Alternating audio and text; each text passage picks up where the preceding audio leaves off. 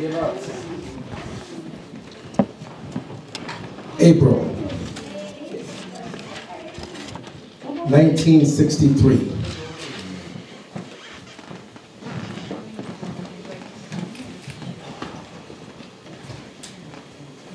We know through painful experience that freedom is never voluntarily given by the oppressed.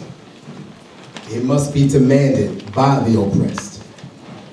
Frankly, I have yet to engage in a direct action campaign that was well timed in the view of those who have not suffered unduly from the disease of segregation. For years now, I have heard the words wait it rings in the ear of every Negro with piercing familiarity. This wait has almost meant never. We must come to see with our distinguished jurists that justice too long delayed is justice denied. We have waited for more than 340 years for our constitutionally and God-given rights the nation of Asia, Africa, are moving at jet-like speed towards gaining political independence. But we still creep at a horse and buggy's pace towards gaining a cup of coffee at a lunch counter.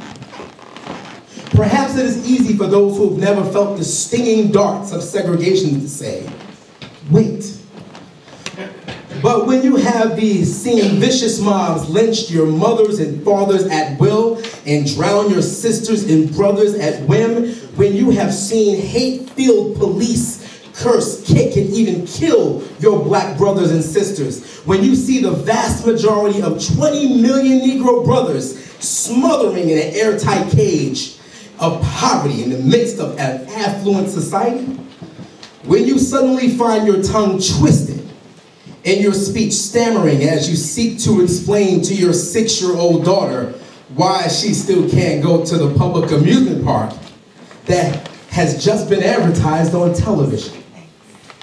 And see tears welling up in the eyes when she is told that the fun town is closed to colored children.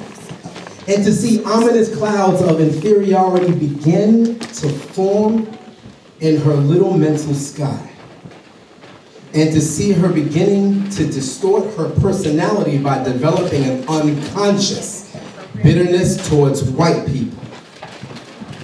When you have to concoct an answer for a five-year-old son who is asking, Daddy, why do white people treat colored people so mean?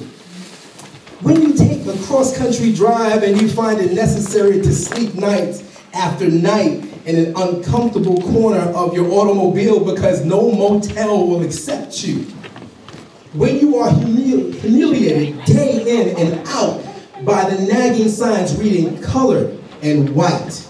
When the first, your first name becomes nigger and the middle name becomes boy, however old you are, and your last name becomes John.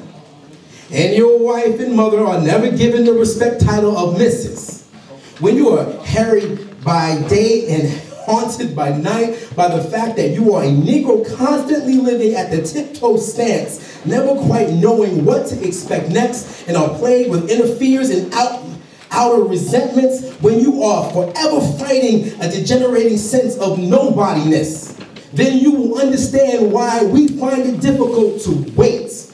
There comes a time when the cup of endurance runneth over, and men are no longer willing to plunge into the abyss of despair. I hope, sirs, you can understand our legitimate and unavoidable impatience. Excerpt. Oppressed cannot remain oppressed forever.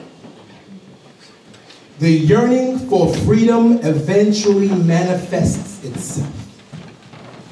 And that is what has happened to the American Negro. Something within has reminded him of his birthright of freedom, and something without has reminded him that he can be gained consciously or unconsciously. He is caught up by the zeitgeist with his black brothers of Africa, his brown and yellow brothers of Asia, South America, and the Caribbean. The United States Negro is moving with a sense of great urgency towards the promised land of racial justice and one recognizes this vital urge that has engulfed the Negro community, one should readily understand why public demonstrations are taking place.